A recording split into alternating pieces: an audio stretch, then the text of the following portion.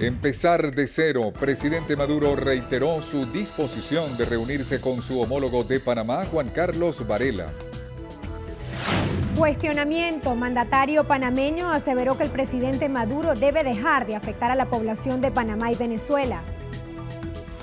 Combate al contrabando. Vicepresidente Tarek El Aizami anunció el despliegue del operativo Manos de Papel en Táchira. Tomarán medidas. Unión Europea alertó sobre aumento de la polarización en Venezuela. Juventud Protectora Delcy Rodríguez aseguró que los jóvenes defenderán a Venezuela de agresiones extranjeras. Quebranta libertades. Secretario de Estado estadounidense manifestó que el gobierno venezolano limita derechos humanos de sus ciudadanos. Solicitan intervención. Constituyente Tania Díaz afirmó que la oposición intenta boicotear elecciones presidenciales. Organismo a la deriva. Seis países abandonan la Unión de Naciones Suramericana. Destino exótico. El príncipe Harry y Meghan revelaron que irán de luna de miel a Namibia.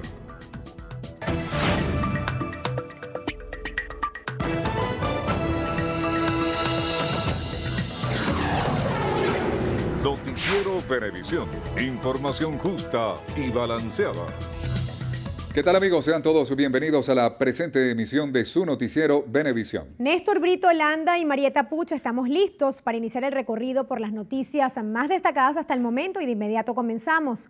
El presidente de la República, Nicolás Maduro, aseguró este viernes estar listo para normalizar las relaciones diplomáticas, económicas y políticas con Panamá y anunció estar dispuesto a reunirse con su homólogo centroamericano Juan Carlos Varela en el momento que sea necesario. Rafael Aníbal Camacho nos tiene los detalles. El jefe del Estado hizo esta aseveración durante una rueda de prensa con medios nacionales y extranjeros donde manifestó estar dispuesto a encontrarse con el presidente panameño y a ceder en algunas decisiones tomadas por el Ejecutivo venezolano en pro del mejoramiento de la relación binacional. Yo estoy dispuesto a ceder todo lo que haya que ceder de las duras decisiones que me obligué o me obligaron a tomar para defender los intereses de Venezuela. Estoy listo, ya estoy listo. Como lo dijo la delegación que envié a la reunión secreta en República Dominicana, estamos listos. Empezar de cero, estoy listo. Mañana mismo, si fuera necesario. Hoy mismo, dentro de un minuto, si llamara al presidente Varela, pudiéramos resolver esto. Estoy listo, pues. Para ceder y ponerse de acuerdo hay que tener coraje. El primer mandatario nacional calificó de ridiculez lo expresado por varios mandatarios del continente sobre el reconocimiento de los comicios del próximo 20 de mayo. Es una ridiculez porque Juan Manuel Santos no es autoridad en Venezuela. Es un ridículo. Y él no tiene límites para cometer el ridículo. Que Mauricio Macri, con el 80% de rechazo que tiene en Argentina, ¿qué nos importa? Lo que importa es que Venezuela está cumpliendo su cronograma constitucional, su cronograma electoral y Venezuela va a salir triunfante. El presidente Maduro afirmó también que viajará a La Habana en visita de trabajo para estrechar lazos con el nuevo presidente del Consejo de Estado y de Ministros de Cuba, Miguel Díaz Canel. Rafael Aníbal Camacho, Noticiero Venevisión. El presidente de Panamá, Juan Carlos Varela, no descartó una posible reunión con el jefe de Estado venezolano, Nicolás Maduro, en relación a las declaraciones de Maduro día atrás, cuando señaló estar dispuesto a resolver los problemas comerciales entre Panamá y Venezuela. El mandatario panameño aseguró que hablar siempre es una opción y que el líder venezolano solo debe dejar de afectar a la población panameña y venezolana. El vicepresidente de la República, Tarek El Aizami, anunció el despliegue del operativo Manos de Papel en el estado Táchira con el propósito de combatir el contrabando de combustible, alimentos y dinero en efectivo en la frontera con Colombia. La operación Manos de Papel sigue desplegada y en este momento tenemos un gran golpe en el estado Táchira a las mafias del contrabando del combustible.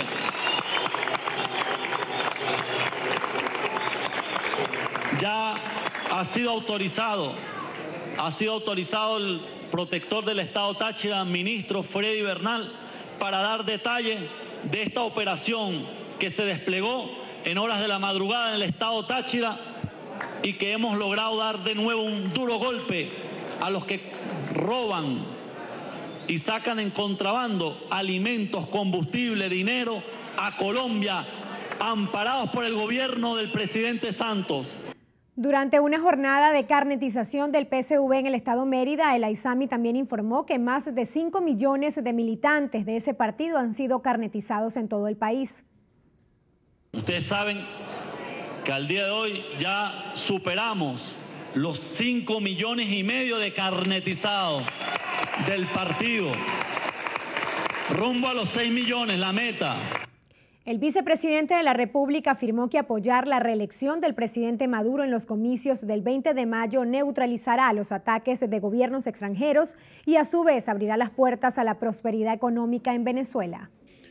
Y la Unión Europea alertó sobre un aumento de la polarización en Venezuela debido a las decisiones del Poder Electoral sobre los comicios del 20 de mayo.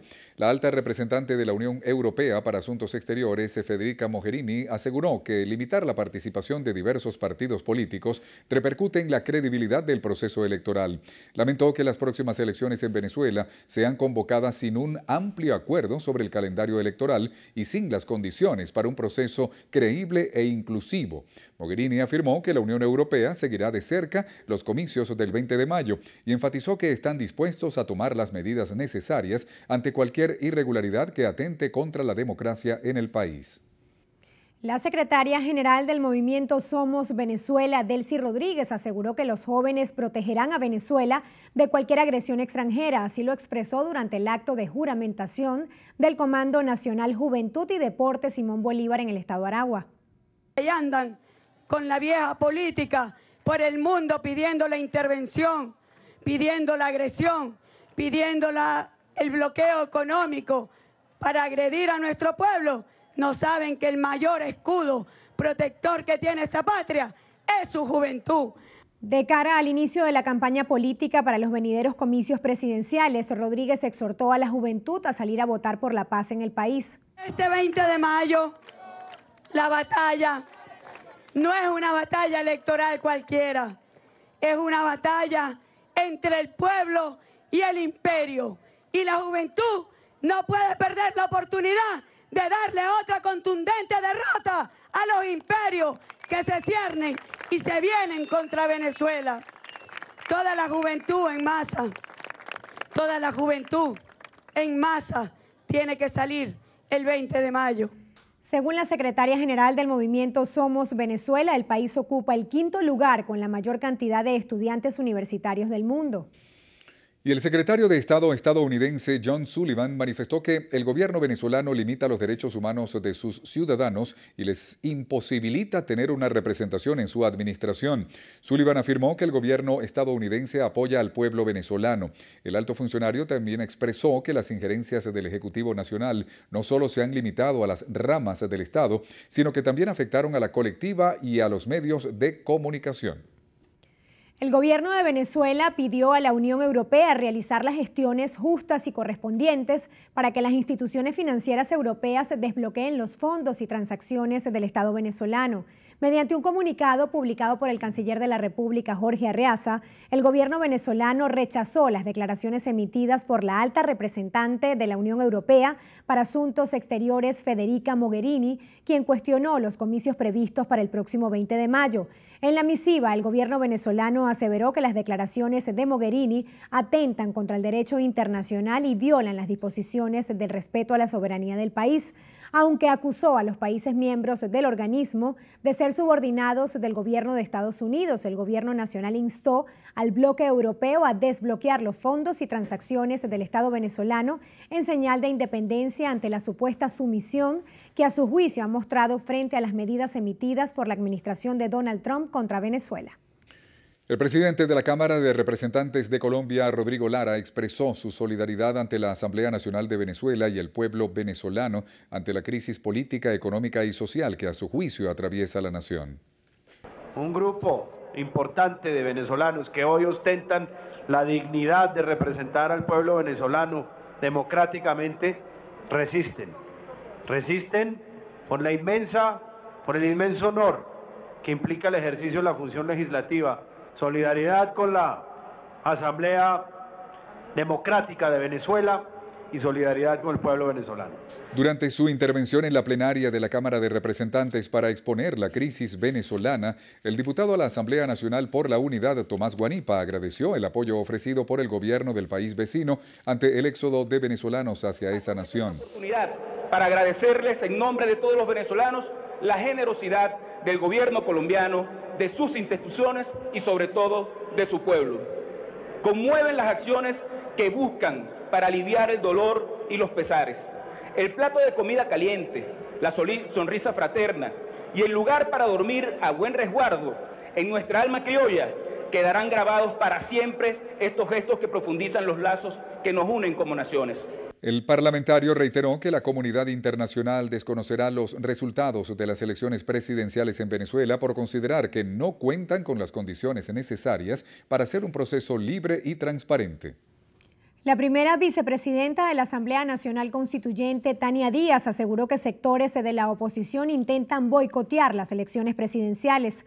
Afirmó que algunos opositores pidieron directamente al vicepresidente de Estados Unidos, Mike Pence, endurecer las sanciones contra el país e incluso solicitaron una intervención. Expresó que estos comicios, donde también se elegirán a los consejos legislativos, habrá una amplia participación y destacó que los países civilizados resuelven sus diferencias a través del voto. Díaz manifestó que la política estadounidense obedece a intereses energéticos y que buscan desestabilizar al gobierno venezolano para apoderarse de los recursos de la nación. El presidente de la Comisión de Política Exterior de la Asamblea Nacional, Luis Florido, se reunió este viernes con el presidente de Brasil, Michel Temer, para debatir la situación de la frontera entre Venezuela y la nación suramericana. A través de su cuenta en Twitter, Florido informó que conversó con el jefe de Estado brasileño para tratar el refugio de la nación para con los venezolanos. También manifestó que seguirá insistiendo en conseguir la mayor cantidad de ayuda para Venezuela. La reunión se realizó en la ciudad de Brasilia, donde se le entregó al diputado la Orden Superior Cruzeiro del Sur por su trabajo realizado con representantes opositores venezolanos por mostrar la crisis que viven los ciudadanos venezolanos. Héctor Rodríguez, gobernador del estado Miranda, aseguró que aquí existe tecnología, conocimiento, experiencia y materia prima para hacer de Venezuela un país productivo que no dependa de las importaciones. Liz Flores nos informa. Durante el cuarto Congreso Pedagógico Estadal, Héctor Rodríguez invitó a los maestros y maestras a generar conciencia sobre la necesidad de producir en el país. Nosotros tenemos que generar un espíritu, una voluntad de que en Venezuela podemos producir las cosas que necesitamos. Ese es el reto que tenemos. Y es el reto que te pido, les pido que me acompañen. Nosotros tenemos que ser capaces de producir las cosas que necesitamos para vivir con dignidad. Nosotros tenemos que ser capaces de producir el alimento, el medicamento, la ropa, la industria motor y la industria de la construcción, que son las cosas mínimas que se necesitan para vivir con dignidad. Ese es el gran reto de estas nuevas generaciones. Destaca que las políticas sociales del gobierno nacional garantizan una vida digna a la población. Así que los niños hay que becarlos. Los abuelos no tienen por qué trabajar. A los abuelos hay que pensionarlos. Y las personas con discapacidad severas no tienen, no pueden trabajar. Todo el mundo tiene derecho a vivir en una vivienda digna. Todos. Y no podemos descansar hasta que todas las familias, una vivienda digna no es solo un apartamento, es un apartamento, una casa y su entorno, con árboles, con parques, con escuelas cerca, con CDI cerca, con seguridad fresca. Todo el mundo tiene derecho a la educación. La educación no es una escuela y un maestro nada más es una dinámica de aprendizaje, de encuentro, de reconocimiento, con escuelas frescas, con programa de alimentación escolar, con una comida de calidad, con libros, con computadora, con laboratorio. Héctor Rodríguez, gobernador del estado Miranda, dijo que ya está tomando acciones conjuntamente con las instituciones gubernamentales para mejorar la calidad del servicio de transporte público. Además, hizo un llamado a los maestros y maestras de esta entidad para que se conviertan en transformadores a fin de tener un estado más seguro, más digno y con una mejor calidad de vida. Desde Los Teques y Flores, Noticiero Benevisión. De la Unión Europea a participar como acompañante en las elecciones del próximo 20 de mayo evidencia el rechazo de la comunidad internacional respecto al adelanto del proceso. Insistió en que no existen condiciones mínimas para los comicios y aseguró que la crisis que aqueja al país se agudizará aún más porque, a su juicio, los resultados beneficiarán al gobierno nacional. El propio Parlamento Europeo en varias oportunidades durante todo este año ha recalcado de manera fehaciente, pero muy contundente, que en Venezuela no existen condiciones electorales y que la intención es rescatar el voto como un mecanismo de cambio y de dirimir los conflictos entre los venezolanos. El voto hoy no es una garantía que te permita resolver en paz los problemas de los venezolanos. Y nosotros lo que apostamos no se trata de ir o no ir, se trata de que el voto vuelva a ser el mecanismo por el cual los venezolanos dirimamos nuestras diferencias, pero que además ese voto permite un proceso electoral que genere paz y genere garantías para todos los actores políticos. Lamentó que el gobierno nacional responda a las sanciones de la comunidad internacional con acciones que promueven el aislamiento del país. El gobierno ha sido, eh, desde el punto, al menos en mi opinión, ha sido muy torpe en el manejo de eh, las respuestas que ha dado a las acciones que ha tomado el mundo, porque no es España, no es Panamá, no son dos países, es el Grupo de Lima, es la Unión Europea, es el gobierno de los Estados Unidos, es un sinfín de organizaciones, el gobierno de Suiza. Es decir, yo creo que cada vez que el gobierno decide aislarse más, a quien más les hace daño es a cada uno de los venezolanos. Reiteró que el Frente Amplio Venezuela Libre tiene que ser un instrumento para unir a todos los sectores de la sociedad civil y política en función a la reconstrucción de Venezuela. El ministro de la Defensa, general en jefe Vladimir Padrino López, considera que con las elecciones del 20 de mayo se resolverán las diversas diferencias entre los sectores políticos del país. En la única vía cívica, constitucional, pacífica, que nos llama estos tiempos históricos para resolver las diferencias de carácter político y para que la patria continúe ese rumbo. El general en jefe reiteró que la vía electoral garantiza la estabilidad y la paz en el territorio nacional. Llamo a la reflexión para que nuestra patria se mantenga de pie nuestra constitución siga viva y nuestra capacidad de tomar nuestras propias decisiones sin tutelajes imperiales permanezca en el espíritu de toda la venezolanidad. Estoy completamente seguro que la grandísima mayoría de los venezolanos y las venezolanas quieren paz, quieren un gobierno estable, quieren unas instituciones estables, quiere democracia, quiere soberanía, quiere independencia y quiere libertad. Y luego de que la Asamblea Nacional autorizara la continuación del proceso que solicitaron los magistrados en el exilio, el diputado de la Asamblea Nacional, Rafael Veloz, señaló que el Parlamento debe mantener las investigaciones. El parlamentario explicó que la facultad de la Asamblea Nacional para realizar investigaciones está determinada en el artículo 232 de la Constitución Nacional. De tal forma que los diputados, todos se tienen que convertir, y todo ciudadano, en sagüesos de la investigación para que no haya ninguna duda. El diputado hizo esas aseveraciones durante su participación en un foro sobre materia jurídica realizado en la sede administrativa de la Asamblea Nacional. La presidenta del Consejo Nacional Electoral, Tibisay Lucena, se reunió en la capital de Etiopía con Thomas Kewesi Korti, vicepresidente de la Unión Africana, quien representa a los 53 estados de la región. En el encuentro establecieron la agenda de actividades que cumplirán la delegación de acompañantes que asistirá en representación de ese bloque de naciones a los comicios del próximo 20 de mayo. Asimismo, Lucena sostuvo un encuentro con la presidenta del ente electoral de Etiopía, en el que compartieron experiencias y promovieron el intercambio técnico. La Unión Africana es la organización multilateral regional más grande del mundo y cuenta con comités técnicos especializados, entre otras cosas, en procesos electorales. El Frente Amplio Venezuela Libre explicó que este sábado la dirigencia debatirá con la ciudadanía en cabildos abiertos propuestas para lograr condiciones que permitan un proceso electoral justo y transparente. La instancia que reúne a representantes políticos y de la sociedad civil señaló que en la actividad también se discutirán nuevas líneas de acción en pro de sus reivindicaciones. Y es por eso que los esperamos mañana, a partir de las 10 de la mañana, en todo el país y en la ciudad de Caracas en particular, en la Plaza San Martín y en la Plaza Bolívar de Chacao, para dar ese debate, un debate de cómo vamos a superar esta grave crisis que estamos viviendo para el lunes, el Frente Amplio anunció asambleas de sectores en los que también se evaluarán alternativas de lucha.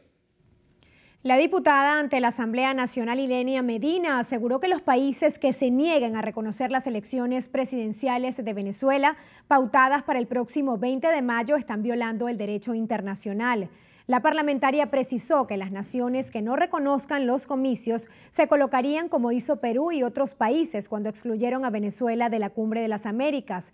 Respecto a la sesión en la Asamblea Nacional el pasado 17 de abril, manifestó que asistió a la sesión para ratificar lo que denominó de vocación suicida, que a su juicio tienen los diputados de oposición a nivel político. Aclaró que la asistencia de diputados oficialistas al Parlamento durante la aprobación del antejuicio de mérito al presidente Nicolás Maduro no significa reconocer la legitimidad del Parlamento. El candidato presidencial Javier Bertucci recorrió las instalaciones del Hospital Dr. Lino Arevalo en Tucacas como parte de su plan de precampaña a los próximos comicios electorales. Durante su recorrido por la comunidad del gremio de médicos y profesionales de la salud, denunciaron que laboran en condiciones precarias. Bertucci también llegó al barrio Libertador del municipio Juan Laurencio Silva para incentivar a los habitantes a ejercer su derecho al voto. Además, su equipo de campaña inauguró la sede del Comando Regional Javier Bertucci en el estado Aragua como parte de su campaña electoral que iniciará el próximo 22 de abril.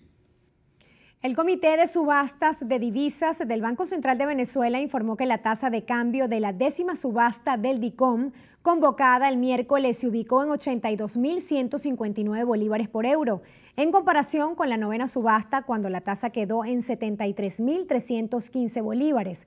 Se registró un incremento de 8.843 bolívares por euro. El ente emisor publicó el listado de las personas naturales y jurídicas adjudicadas en esta décima subasta. En este sentido, la asignación de las divisas se hará efectiva el próximo 23 de abril en las cuentas bancarias registradas por los usuarios.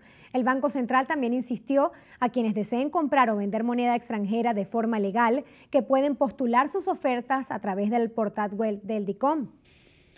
El coordinador del comando de campaña de Henry Falcón en el estado Zulia, Héctor Vargas, exigió al gobierno nacional declarar emergencia eléctrica ante las constantes fallas que afectan a los zulianos. Aseguró que en varios municipios de la región los apagones sobrepasan las 24 horas.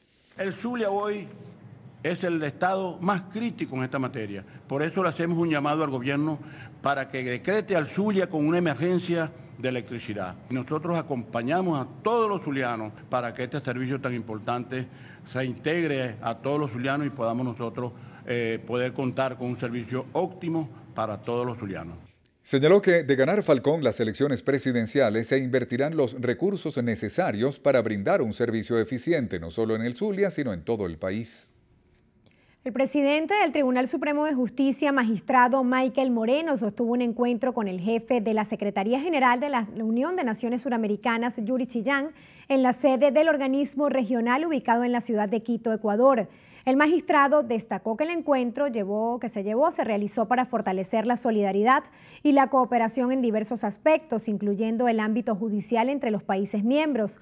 Moreno también sostuvo una reunión con el presidente de la Corte Suprema de Justicia de Panamá, magistrado Hernán Antonio de León Batista, en el contexto de la vigésima novena edición de la Cumbre Judicial Iberoamericana desarrollada en esa ciudad. Más de 200.000 venezolanos han ingresado a Perú como turistas y unos 36.000 han recibido el permiso temporal de permanencia durante el último año, según informó el Superintendente Nacional de Migraciones de ese país, Eduardo Sevilla. La mayoría de los 200.000 venezolanos que entraron como turistas tienen seis meses de permanencia autorizada, así como algunos tramitan el permiso temporal de permanencia, otros siguen hacia Chile, Argentina y Uruguay.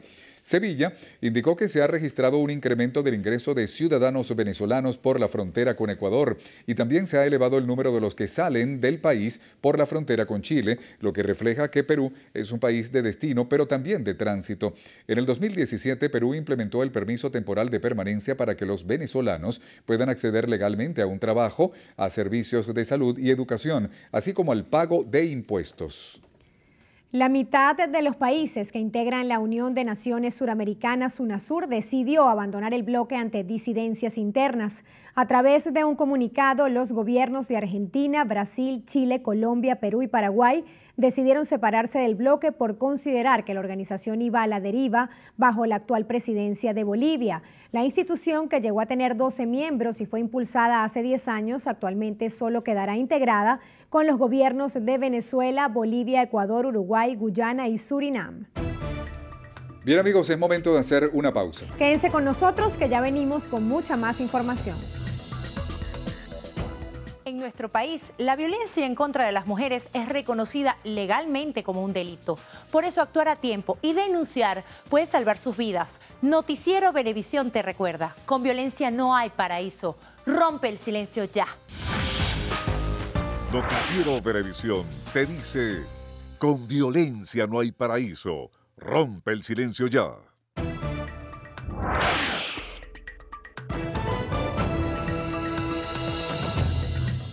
María Fernanda requiere con carácter de urgencia el medicamento carboplatino de 150 miligramos y 450 miligramos. Quienes puedan colaborar, favor comunicarse al número 0416 022 7276.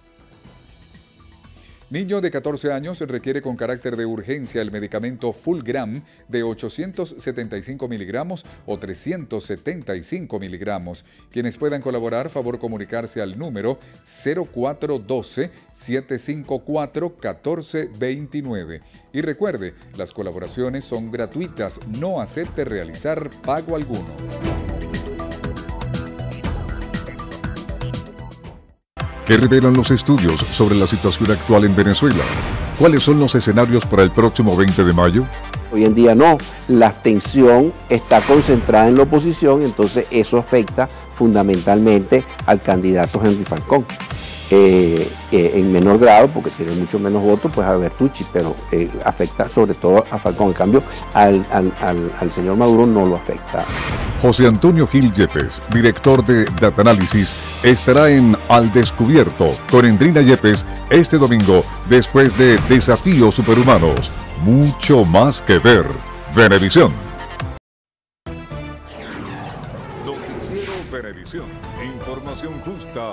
Balanceada. Amigos, continuamos con las informaciones. El coordinador operativo nacional del Comando de Campaña de Henry Falcón, Pedro Pablo Fernández, juramentó el Comando de Campaña de Barcelona en el estado Anzuategui. Aseguró que el próximo 20 de mayo deben defender el voto en todo el territorio nacional. Que este comando va a defender el voto en cada una de las mesas para hacer respetar la voluntad popular. Yo invito a todos, al que, siente hoy desesperanza, al que, siente, al que hoy no tiene ganas de luchar, a que nos volvamos a parar una vez más. El 20 de mayo es la fecha en la que nosotros tenemos que salir todos a votar y a defender el voto. Fernández además recalcó la importancia del padrón electoral en la entidad y reafirmó que de ser electo Henry Falcón como presidente de Venezuela trabajarán con el fin de reducir las cifras migratorias presentadas en el país. El ministro de Agricultura Urbana, Freddy Bernal, informó que tras el despliegue de la operación Drone en Táchira fue desarticulada una red internacional de lavado de dinero procedente del contrabando de combustible. La acción de inteligencia dejó 11 detenidos y 296 vehículos retenidos en 13 concesionarios. Según el ministro Bernal, es la operación más grande efectuada por el Estado venezolano en unión cívico-militar para combatir las mafias del contrabando. En complicidad con trabajadores de algunas bombas, los vehículos de los concesionarios se surtían de gasolina y descargaban en depósitos clandestinos. De la punta del iceberg.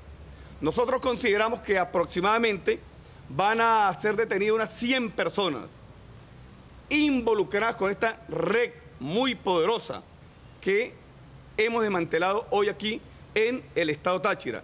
Y tenemos correlacionado billones de bolívares. Es incalculable hasta este momento la cantidad de dinero implicado. Entre los 11 detenidos están dos bomberos de la estación de servicio La Redoma, a quien se les incautó varios tags de combustible. Esta mafia recibía dinero del narcotráfico internacional para lavarlo a través de los concesionarios. ¿Cómo? Un concesionario compraba un, compraba un lote de vehículos a otro concesionario, pero eran ventas ficticias. Nunca había la transacción de los vehículos. Pero ¿qué se garantizaba? Con cada venta se garantizaba el lavado de un número importante de dólares de la mafia, el contrabando de gasolina y contrabando de extracción. En la operación participan seis CPC, Guardia Nacional, PDVSA, DIGESIN, Ministerio Público y las Fuerzas de Acciones Especiales. La gobernadora Lady Gómez confirmó la muerte de tres hombres que pretendían pasar a Colombia por el río Táchira y fueron arrastrados por la crecida a causa de las lluvias. Informó que organismos de rescate de ambos países mantienen la búsqueda de un cuarto desaparecido en el afluente. Marine Glot tiene todos los detalles padre e hijo de 45 y 16 años de edad, fueron sorprendidos por la crecida del río Táchira intentando pasar al vecino país a la altura de la trocha Llano Jorge de San Antonio, mientras que un joven de 23 fue arrastrado por el mismo afluente en la marranera de Ureña. En la zona fronteriza persisten las precipitaciones. Y un desaparecido que hasta el momento los organismos competentes no han dado con el paradero de esta persona que se presume que también fue sumergida por la crecida del río. No nos pronunciamos hasta tanto no tuviéramos la información fehaciente y hasta tanto no conociéramos las causas de esta situación. La gobernadora Laidy Gómez pidió se investiguen estos casos. Los fallecidos por crecida del río Táchira son venezolanos. ¿Por qué pasar por una trocha cuando los puentes estaban habilitados? ¿Dónde estaban los organismos de seguridad para que permitieran que pasaran ciudadanos ante una crecida del río y cuál era la finalidad de estos ciudadanos para poder pasar a pesar de que existiera una crecida del río y a pesar de que la frontera estaba abierta en horario diurno. Según la mandataria regional, persiste la emergencia por servicios públicos en el estado andino. Lamentó el desabastecimiento de combustible y criticó los cortes de electricidad. En Táchira, Marineglod, Noticiero, Venevisión. El procurador del Estado Miranda, Jair Muñoz, solicitó al Ministerio Público abrir una investigación contra el exgobernador Enrique Capriles Radonsky por presunta responsabilidad en hechos de corrupción durante su gestión. Según el funcionario, al exgobernador se le debería prohibir la salida del país ante la serie de evidencias relacionadas con hechos de corrupción. Muñoz aseguró que la Dirección de Comunicaciones recibía dinero de los recursos de los mirandinos para pagar campañas políticas. También detalló que se pidió a la Fiscalía que gestione una alerta roja para el ex procurador de Miranda, Alejandro Otero, a quien señaló de haber usado sus facultades para llevar a cabo enriquecimiento ilícito y quien se encuentra al parecer en Estados Unidos. El diputado de la Asamblea Nacional Ismael León denunció irregularidades en la construcción del Parque Hugo Chávez ubicado en La Rinconada, aquí en Caracas. Euclides Sotillo con la información. Según el parlamentario, desde el 5 de agosto del 2013, cuando el Ejecutivo Nacional anunció la construcción de esta obra de recreación para los caraqueños, solo se ha desarrollado 30%. Dijo que la misma estaba programada para ser culminada en 2015, sin embargo la obra no ha sido concluida y ahora es para el 2019, con apenas con 140 funcionarios, cuando se necesitan más o menos 3.000 para poder terminar este parque tan inmenso. Anunció que el miércoles 25 de abril presentará a la Comisión de Contraloría de la Asamblea Nacional el caso del parque Hugo Chávez con sus respectivas pruebas. El diputado León también anunció que acudirá a la sede de la Contraloría General de la República a formular esta denuncia de presunta corrupción, a la vez que espera recibir una pronta respuesta de esta institución sobre este caso. En Los Palos Grandes, Euclides Sotillo, Noticiero Televisión. En Zulia, las autoridades del sur del lago de Maracaibo se mantienen alerta ante las continuas precipitaciones caídas en gran parte del territorio nacional. José Leonardo Nava nos presenta esta información. Vladimir Labrador, alcalde del municipio Colón, indicó que se vienen realizando trabajos a fin de fortalecer los diques de contención para evitar el colapso y desbordamiento del río Chama, que recientemente provocó pérdidas a productores y la evacuación de varias familias. Y además a este plan se están incorporando los productores, es decir, para evitar las inundaciones. Es un compromiso. La zona sur del lago es una zona productiva, pero también una zona afectada por las altas inundaciones eh, por los diferentes ríos. Y bueno, nuestro compromiso es fortalecer los muros y un plan eh, que tenemos eh, junto con el ambiente para que podamos entonces dragar las principales bocas de los ríos que permita evitar esas inundaciones. En materia de seguridad, con el objeto de hacer frente a los grupos irregulares que operan en los municipios fronterizos del sur del lago. Señaló que la Fuerza Armada Nacional Bolivariana mantiene presencia en la zona. Del plátano, del cacao, de la, de la leche y de la carne, estamos el 0.5% lo estamos creando en un fondo y ese fondo el 40% va a ser destinado para garantizar la seguridad, es decir, darle entonces el fortalecimiento a todas las patrullajes, al sistema de patrullaje. Sobre el Plan Nacional Porcino Soberano, lanzado recientemente en conjunto al Ministerio de Agricultura Urbana, el alcalde Labrador reiteró que para finales de año esperan producir al menos 80 toneladas de carne de cerdo. En el estado Zulia, José Leonardo Nava, Noticiero, Benevisión. Vecinos del sector El Limón en San Antonio de los Altos protestaron por fallas en el suministro de agua potable. Denunciaron que llevan 90 días sin el vital líquido. Alberto Rebeto nos amplía toda la información. Explicaron que aunque tienen ya tres años sin suministro regular de agua potable, suman 90 días sin el vital líquido. Exigieron a Hidrocapital la restitución del servicio. No se terminan de llenar, de llenar los tanques y por lo menos la calle 8, que es una calle alta como la calle 2, este, tiene más de 90 días sin agua. Y si no se llena la calle 8, tampoco se llena la calle 4. La calle 2, que está aquí la señora Mila, tiene cuatro meses sin agua, entonces ahora dicen que van a mandar unas cisternas porque no las ha mandado si la calle 2 ya tiene cuatro meses sin agua. Por su parte, el alcalde del municipio de Los Alias, José Fernández, denunció que autoridades de la hidrológica amenazaron con no restituir el suministro del vital líquido en el sector. Una de las funcionarias de Hidrocapital amenazó a la comunidad que no les iba a mandar más, más agua debido a que el agua que iba para una calle se fue para otra calle.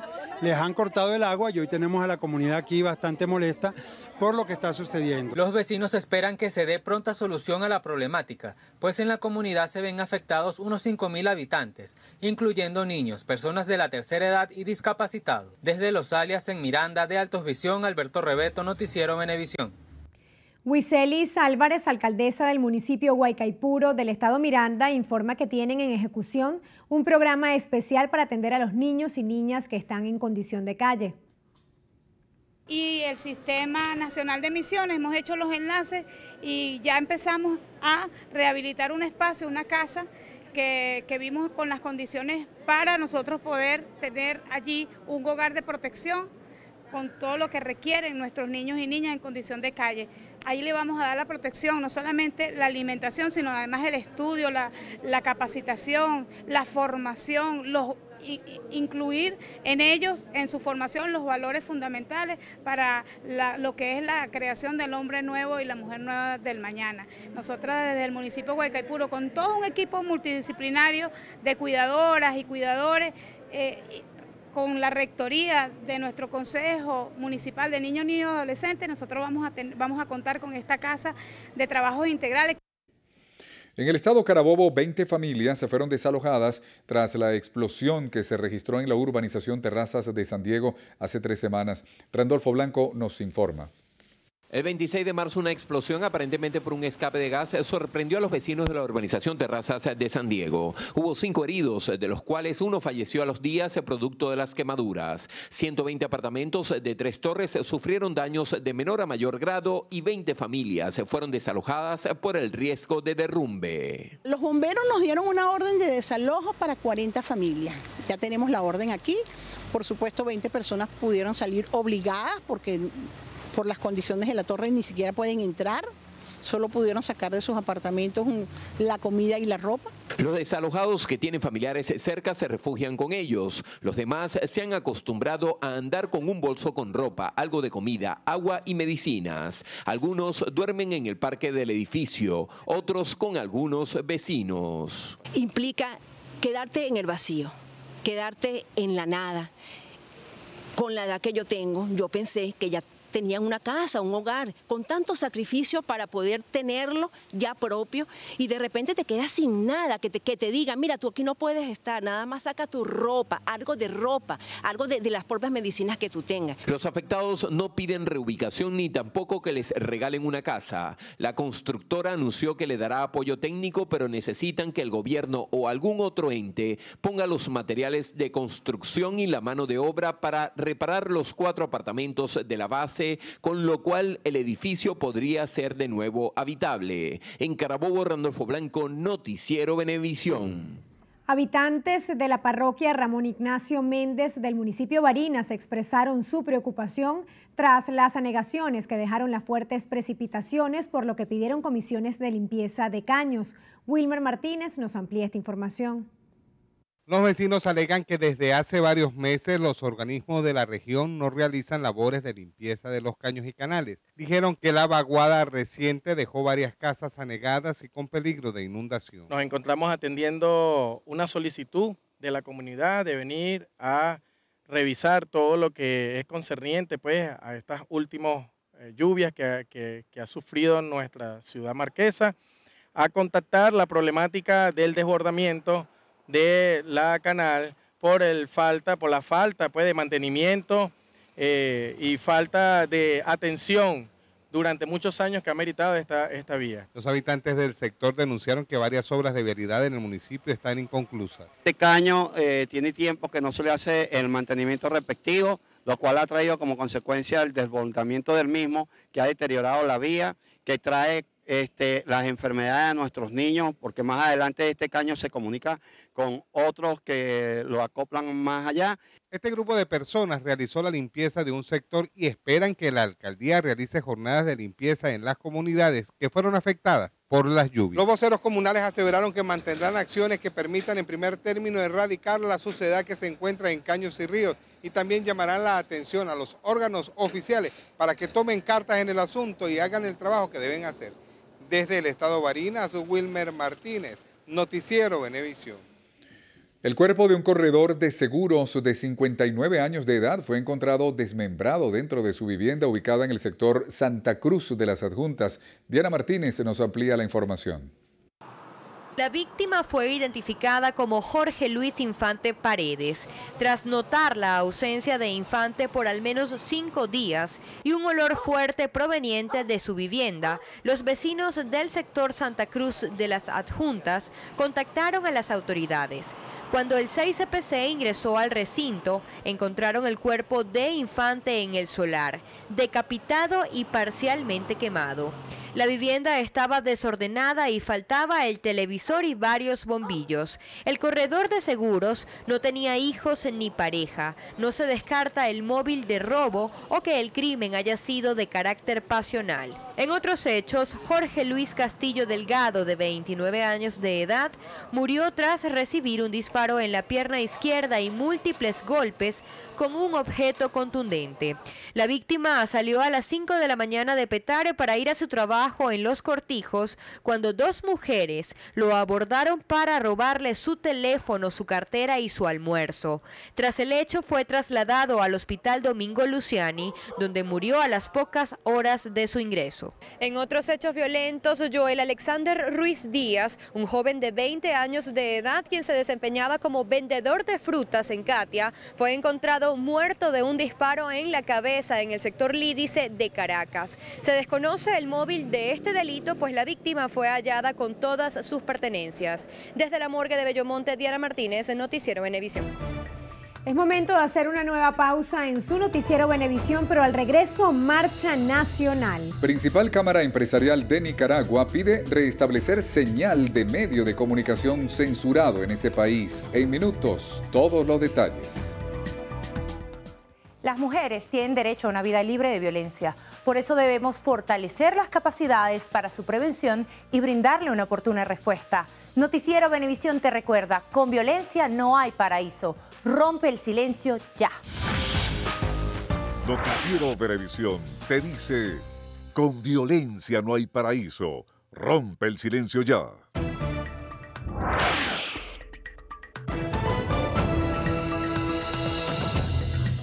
José Rangel requiere con carácter de urgencia los medicamentos macrodantina de 50 o 100 miligramos y sultamicilina de 750 miligramos.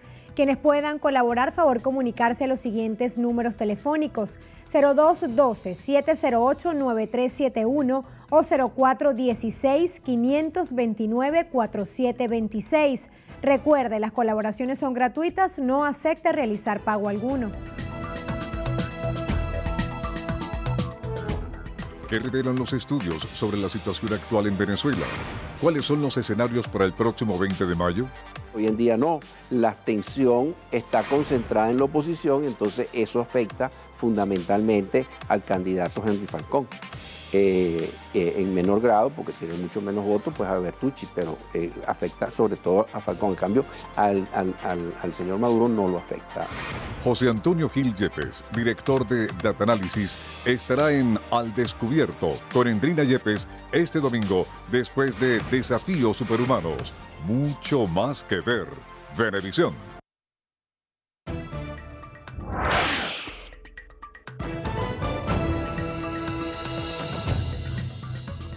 Amigos, iniciamos nuestro recorrido internacional en Nicaragua, donde el COSEP, la principal cámara empresarial de ese país, convocó a todas las empresas y sus trabajadores a una marcha nacional. José Adán Aguerri, presidente de la Cámara, exigió al mandatario de ese país, Daniel Ortega, el cese de la represión, la liberación de los apresados durante las protestas y el respeto a la libertad de expresión. La movilización se realizará la tarde del lunes en la emblemática Garita de Rubén Darío, un punto importante de la capital nicaragüense. El líder empresarial exigió que se restablezca la señal de 100% Noticias, el único canal de televisión que se mantiene censurado en esa nación. En Perú, el expresidente Alberto Fujimori compareció ante un tribunal por una matanza de seis campesinos en 1992, tras salir de prisión hace cuatro meses gracias a un polémico indulto. Un fiscal pide procesar en este caso a otras 23 personas, entre ellas exintegrantes de un grupo paramilitar y de Fuerzas Armadas. El gobierno de Chile se ofreció para acoger las negociaciones de paz entre Colombia y el Ejército de Liberación Nacional. La decisión se produce después de que Ecuador decidiera el pasado miércoles dejar de ser país garante de las conversaciones. En Estados Unidos, un estudiante resultó herido en un tobillo, aunque no de gravedad, tras un tiroteo registrado este viernes en un colegio de la ciudad de Ocala, al norte de Florida. El suceso se produjo cuando otro alumno, todavía por causas desconocidas, disparó a través de la puerta cerrada de un aula de la secundaria Forest High School. En Corea del Norte, el líder de esa nación, Kim Jong-un, indicó que el país suspenderá sus pruebas nucleares y de misiles. El anuncio fue realizado durante el pleno del Comité Central del Partido de los Trabajadores celebrado en Pyongyang de cara a las próximas cumbres con Seúl y Washington.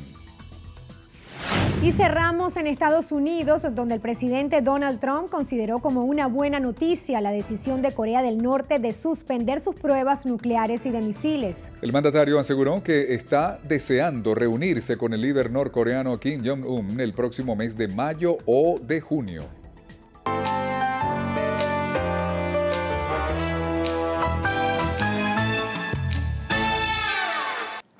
Por fin llega el momento que tanto esperabas. Estás a punto de irte a la cama con la mujer que tanto deseas, pero tu miembro viril no te responde. Quedaste muy mal parado frente a ella. Esa situación marca tus experiencias sexuales y ya sabes, bajo ninguna circunstancia puedes vivir un momento así otra vez. Y es entonces cuando comienzas a refugiarte en medicamentos que probablemente no necesitas.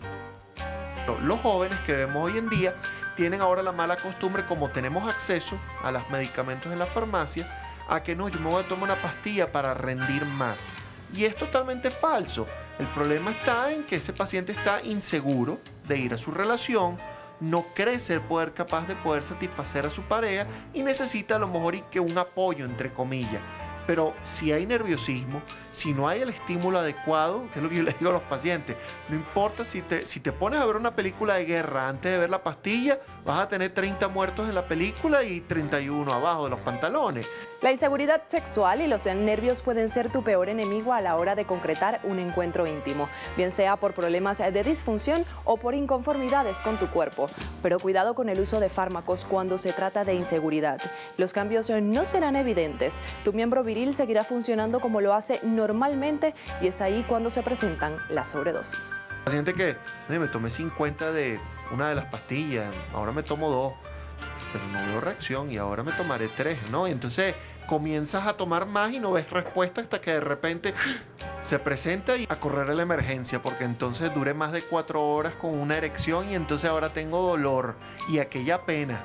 Señores, para llegar entonces al hospital que sabe que tiene una erección que es duradera, pero es una condición grave, que es el priapismo que hay que tener cuidado porque el abuso de los medicamentos puede llevar a una erección prolongada, dolorosa, que dura más de cuatro horas. Los hombres venezolanos tardan hasta tres años en consultar problemas de erección. Para diferenciar un problema de disfunción real de un proceso de inseguridad sexual, debe preguntarse cuántas veces me ha sucedido. ¿He estado sometido últimamente a mucho estrés? ¿Es con la misma pareja o con otra persona? Según el especialista, el que funciona bien aquí, también lo hace allá. Los invito a seguirnos en nuestra cuenta de Instagram arroba sexualdesnudo-bebé o en mi cuenta personal yoge-adrián. Que tengan un feliz fin de semana. Muchísimas gracias, Joheisa. Hacemos una nueva pausa en su noticiero Venevisión. Así es, amigos. Quédense allí, ya venimos con más información.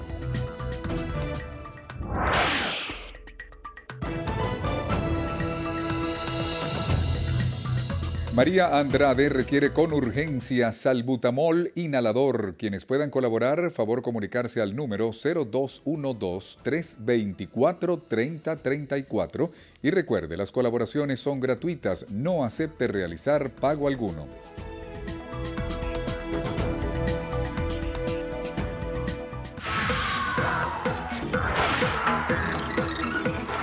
Hola, ¿qué tal amigos? Soy Karelis Cuadros y esto es Estrenos y Estrellas. Iniciamos las noticias del espectáculo con más detalles de la boda real. A poco menos de un mes, Harry y Meghan confirmaron que la luna de miel será en un exótico destino.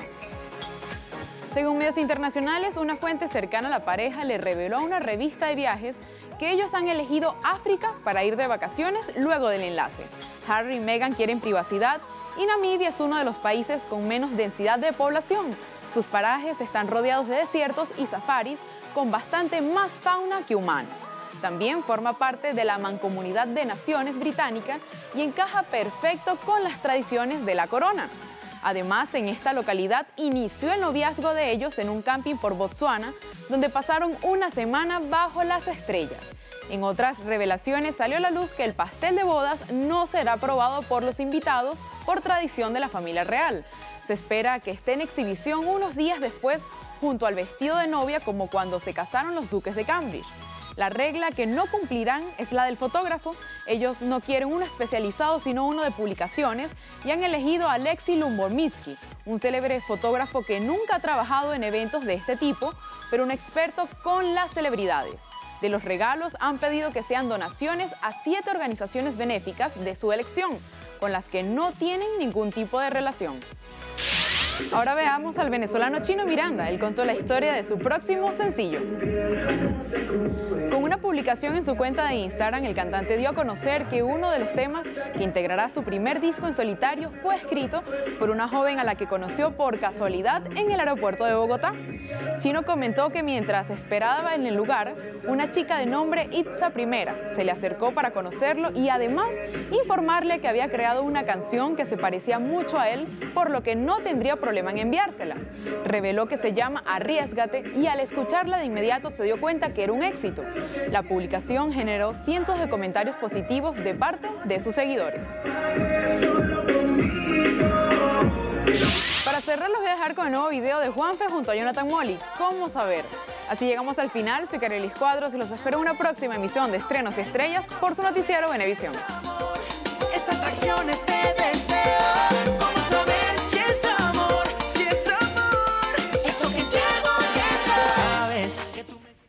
Muchísimas gracias, Carielis. Tiempo de una nueva pausa. Así es, amigos, ya venimos con más información.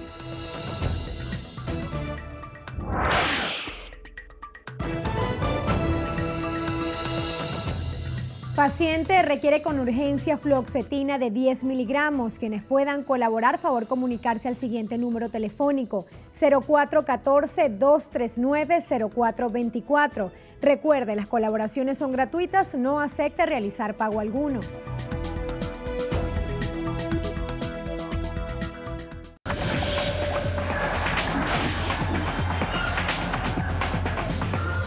Amigos, iniciamos los deportes con fútbol porque el Barcelona se medirá frente al Sevilla este sábado en la final de la Copa del Rey. Los guiados por Ernesto Valverde buscan su primer título de la temporada. Valverde quiere asegurar un primer título este sábado reservando a figuras como Andrés Iniesta, Sergio Busquets, Gerard Piqué, Luis Suárez o Lionel Messi. Ante los azulgrana, el Sevilla volverá a confiar en Ever Banega para dirigir el juego, mientras por delante el francés Wissam Ben Yedder podría tener la responsabilidad ofensiva. Y cerramos con la Liga Italiana, y es que la Juventus, líder actual del campeonato de la Serie A, se medirá frente al Nápoles este domingo. El pronóstico para el Nápoles se ha evidenciado en sus últimos juegos con cuatro puntos por debajo de su contrincante. La Juventus, por otro lado, tiene un cronograma de encuentros que no es precisamente sencillo. Después jugará contra la Roma y el Inter de Milán luego de este partido. Y así concluye la presente emisión de su noticiero Venevisión. Amigos, recuerden, Noticiero Venevisión Canal 4 reporta. Y ustedes deciden. Gracias por acompañarnos.